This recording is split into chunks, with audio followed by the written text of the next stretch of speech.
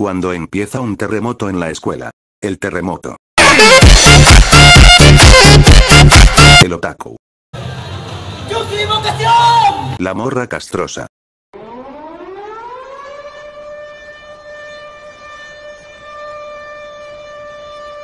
El profe. La tele reportando el terremoto. Televisa presenta. Los que sobrevivieron.